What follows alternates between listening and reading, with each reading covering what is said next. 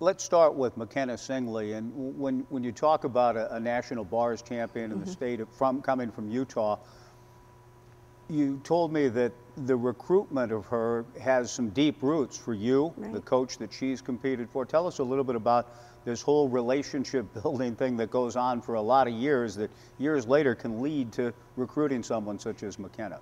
Well, one of McKenna's coaches, Mary Wright, uh, is near and dear to my heart. She was one of my coaches, and um, she gave me great advice coming, growing up and helped really mold me into the person that I am today.